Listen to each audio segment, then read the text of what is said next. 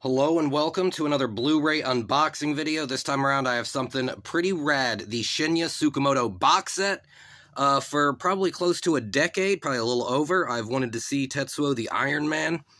And the only way to see it for the longest time in America was a $50 out-of-print DVD. $50 for one film on DVD. Uh, not worth it, in my opinion, regardless of how great the movie is.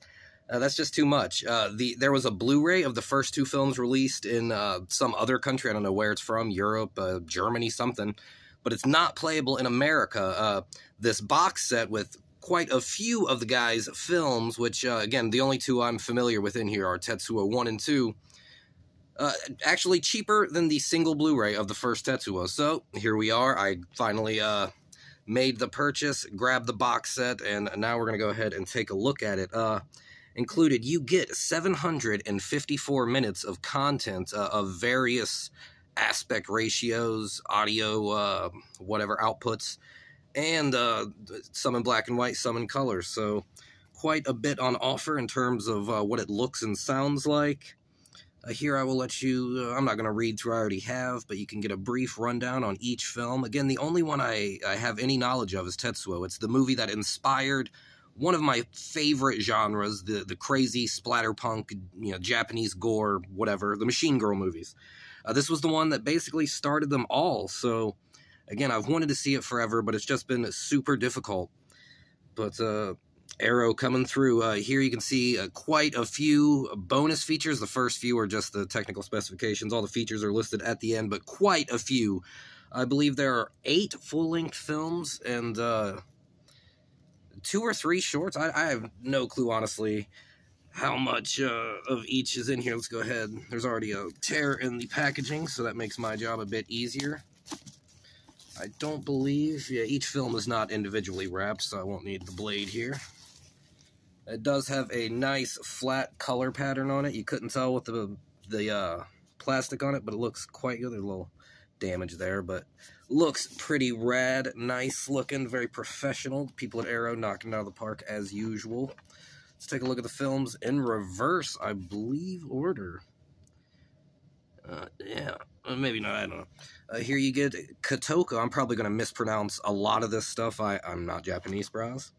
Uh, there you can see all of the bonus features that are on it, and uh, does each film feature uh, each film does feature a reversible uh, reversible sleeve for the other film that is featured. So that that's a pretty interesting way to do it, but not not too bad.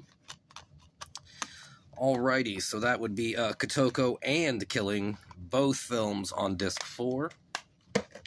Moving on to disc three, we have A Snake of June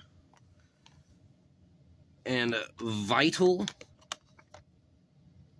uh, possibly also Haze. I don't know if that's just an alternate title or if that's the short.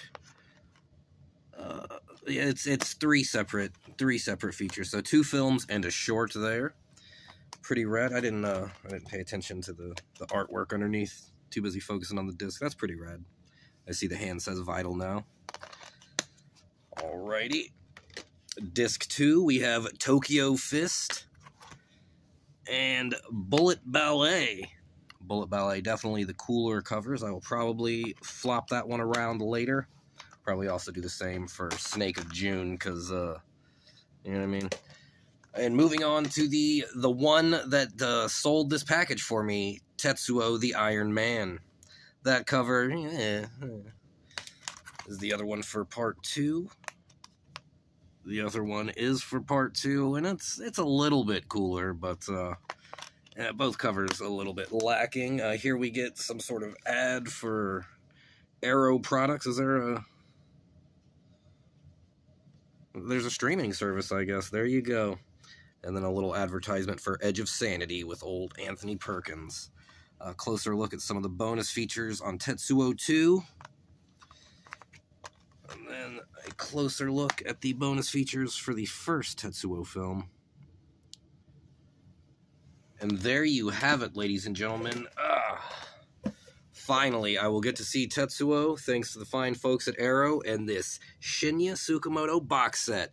You've seen it be unboxed, and now I'm finally going to see the movie.